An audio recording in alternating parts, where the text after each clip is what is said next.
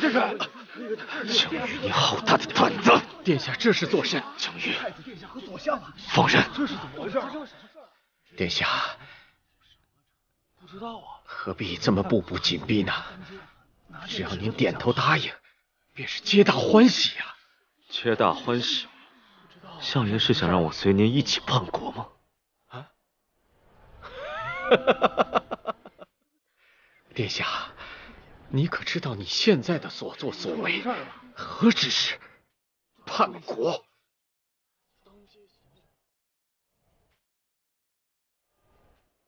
我再说最后一遍。放人！韩烨，你是怕我见到陛下说出真相吧？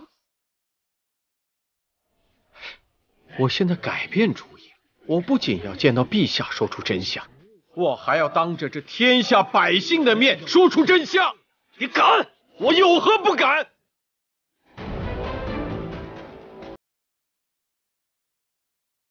我乃当朝左相，即便你是太子，又岂能全身而退？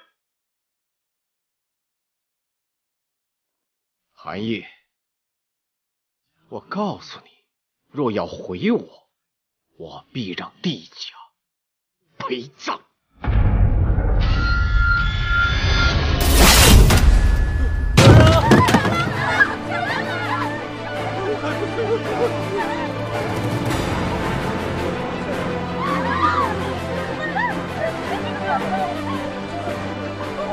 能被你拉下地狱的，唯我一人而已。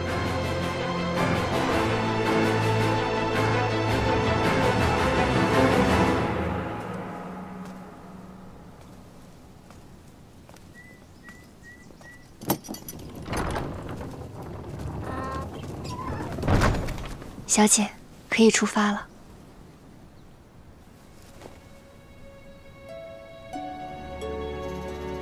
终于要离开这儿了，小姐可是不舍。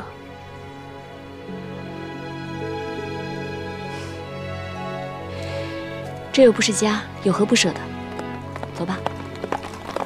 去，子元，玉玉，安宁，子元，安宁，贵哥出事了，他杀了左相，现被关进了刑部大牢。啊！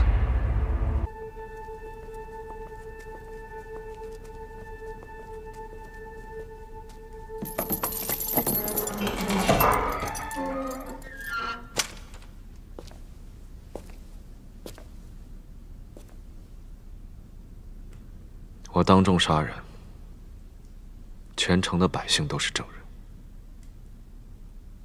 骆大人不必为难，公事公办即可。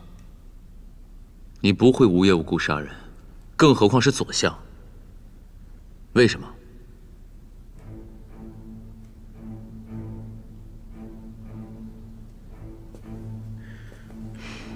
而且你手里已经有足够的证据可以置他于死地，交给大理寺处理就好了，又何必当众动手啊？海燕，你是不是有什么难言之隐不能对我说？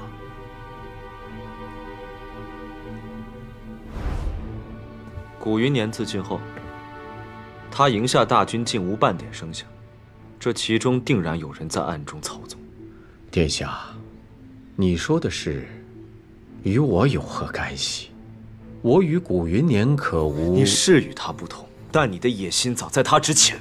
你为何要帮助狄承恩？如今又为何要绑走温硕？殿下，你既然提到温硕，那臣有句话，就不得不说了。帝家冤案昭雪之后，陛下对帝子元已是不满之极。他一介孤女，陛下还能忍；倘若陛下知道帝家之子帝晋言还在世，且在太子身边养着，结果又会如何呀？将军，你敢？嗯。帝家有女子媛，上承于天，私得重任，荣封太子之妃。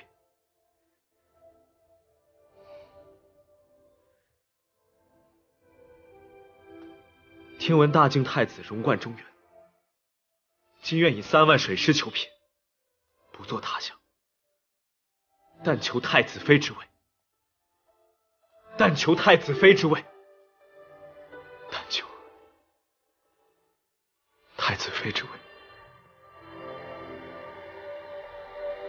弟子元，任安乐，有太祖遗旨为证，三万水师作聘。我不论你叫什么名字，你都是我寒夜的太子妃。子元，我让你久等了。整整一年才从梁帝升为太子妃，确实是让我久等了。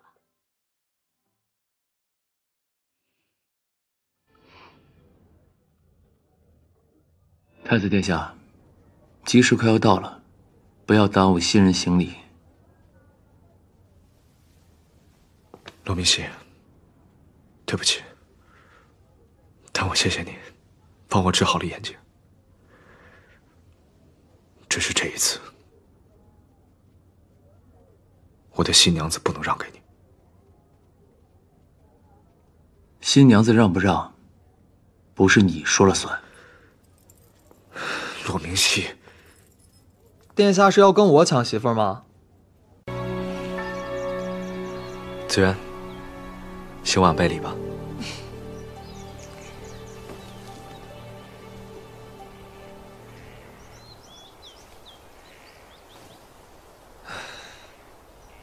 我身为储君，这半生克己复礼，鲜有能随心而活的时刻。我这辈子最开心的，就是皇爷爷的这道赐婚圣旨。不管我们帝韩两家曾经有过怎样的隔阂，我们两个人的命运早就纠缠在了一起，分不开的。巧得很，让我心动的任安乐，便是我要守护的弟子元。你可曾记得，在这苍山之上，我曾说过，你会陪我闯下大晋盛世。我自然是记得的。当时太子殿下可是跟我说，让我只做你的知己啊。那不算。